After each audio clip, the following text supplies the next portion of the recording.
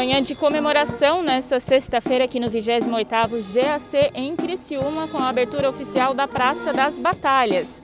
Nesse momento está acontecendo a solenidade de abertura a toda a comunidade. A Praça das Batalhas que fica ali atrás, nós vemos aquelas colunas ali que falam um pouquinho sobre as batalhas e as vitórias aqui do 28º GAC. Nesse momento, a Orquestra do Bairro da Juventude, as crianças, né, estão se apresentando. Aqui no local, várias autoridades, prefeito Clésio Salvaro, vice-prefeito, secretários aqui de Criciúma e também prefeitos da região presentes para essa solenidade que aconteceu na manhã dessa sexta-feira. Inclusive também aberto à comunidade. Ontem nós falamos aqui com o Coronel Brito Júnior, aqui do 28º GAC. Essa ação tem o objetivo principalmente de aproximar a comunidade ao 28º GAC aqui de Criciúma. Já tinha tradição anteriormente de no Dia das Crianças ter atividades e agora com a Praça das Batalhas aberto a toda a comunidade aos finais de semana e também nos feriados na parte da tarde, das 14 até as 17 horas. Em grupos pequenos não precisa marcar previamente, né, fazer um cadastro prévio para vir aqui visitar. Né? Em grupos pequenos são considerados menos de 10 pessoas. Um número maior de pessoas eles pedem para entrar em contato para agendar um horário, mas o local é aberto a toda a comunidade. A gente vê aqui tem muitas pessoas, né, a solenidade também com soldados, apresentações. Então, uma manhã de comemoração aqui no 28º GAC, mais uma oportunidade para a população aqui de Criciúma.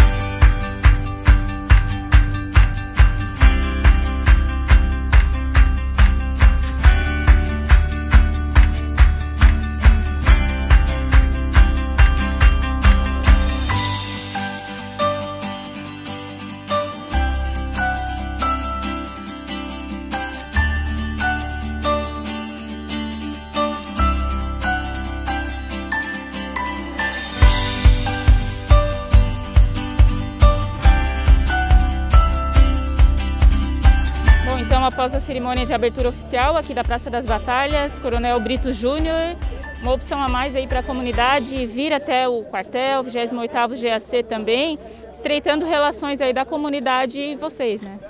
Eu acho que a palavra é exatamente essa que você falou, Emanuel, é estreitar e integrar, interagir com a população do extremo sul catarinense. Bom, nesse mês de outubro a gente está proporcionando essa abertura dos portões do 28 GAC, justamente através da inauguração desse sítio histórico chamado Praça das Batalhas. O 28º ele já vem de 190 anos de história, 190 anos de interação com o sul do país, né? haja vista que ele nasceu na cidade de Rio Pardo, no Rio Grande do Sul, já mudou várias vezes de sede e hoje se encontra em Criciúma, há 44 anos. Então nós procuramos materializar essa história através é, da Praça das Batalhas, né, que é um sítio histórico através de oito totens, através de uma pintura de Vitor Meirelles, que está aqui ao fundo, e através desse, desse evento que ocorreu hoje, trazendo representantes da sociedade local, as instituições do Legislativo, Judiciário, do Executivo, os amigos, os eternos integrantes do 28 de Jacê, que são ex-militares, né? e também as escolas. Então, para a gente foi um motivo de grande alegria e muita honra ter feito esse evento no dia de hoje. A Castanhel, a Engenharia Castanhel é parceira do 28º GAC desde a década de 1980. É, a gente construiu aqui atrás a capelinha, construímos aqui na frente a granada e agora com mais uma parceria a gente construiu a, a Praça das Batalhas O que vem agora é integrar mais ainda do que já está, né? A integração com as escolas, com a comunidade, a gente crê que vai, vai ser um sucesso essa, o início dessa visitação das escolas. Mano, o que, que tu achou aqui do evento? Gostou?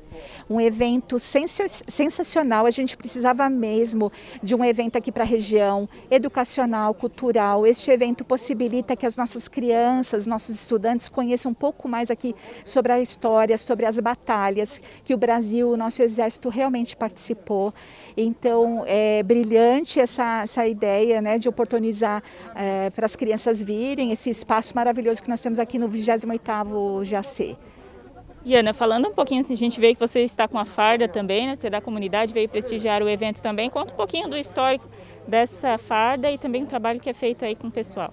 Então, aqui do ladinho dessa Praça das Batalhas, quando puderem vir visitar, nós temos também um monumento aos pracinhas. Quem são os pracinhas? Que foram na, eh, são da Força Expedicionária Brasileira. Então, mais de 25 mil homens que foram para a Itália é, na, na, Segunda Guerra Mundial. E eu também, a farda que eu estou usando, eu estou representando as enfermeiras.